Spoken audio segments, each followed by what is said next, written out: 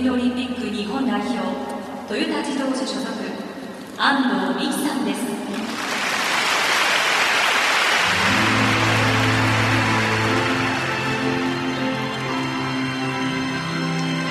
トミノオリンピック15位。もう一度信じてみよう。自分の未来夢の可能性を。I believe.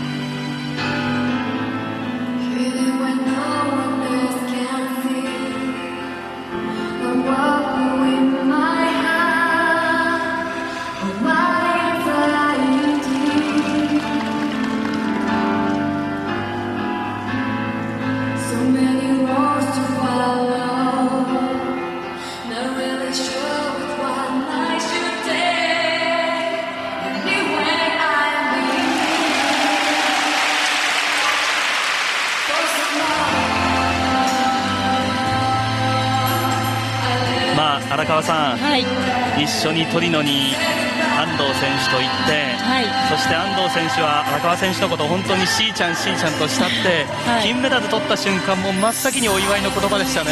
はい、もうあの時は本当に嬉しかったですね。それと同時にもう本当に次に頑張ってほしいっていう風に私はパッと思えたのでで彼女もそういう風に多分思ったと思うんですけども頑張ろうっていう風に。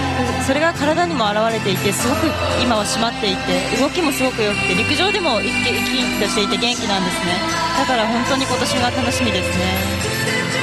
荒川選手の長野での活躍を見て心に決めたオリンピック出場トリノで叶えました。そして目の前で見た荒川選手の金メダル今度はバンクーバー自分がという思いは強いはずです。そして国分さんもはい。実際トリノまで行かれたわけです、そうですね、えーまあ、僕が言うのもなんですけどもあの安藤選手にとって本当にそのトリノオリンピックっていうのはとっても大きかったんじゃないかなと思いますね。成績ではなくこれからの安藤選手を、えー期待させてくれた大会ではなかったかなと思いますね。あとは八木沼さんその経験をどうつなげていくかですね。そうですね。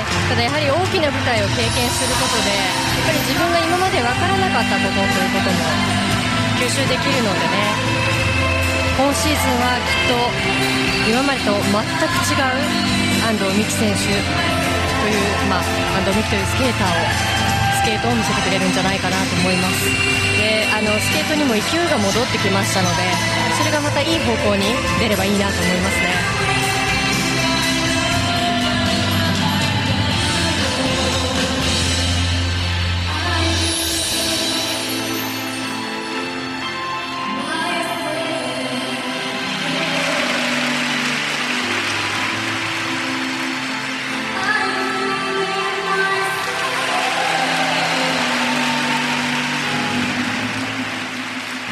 素晴らしい。